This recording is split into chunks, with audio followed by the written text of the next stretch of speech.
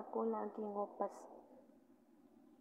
ngupas nanas ya teman-teman. Ini nanas dari Filipina Terus, jadi nanas itu ada bijinya ya teman-teman. Ini bijinya bisa bisa di ditanam nanti. Bijinya bisa ditanam. Jadi ini dia di sela-sela ini bijinya. Di mata itu yang di mata nanasnya itu. Biji nanas. Nanti bisa di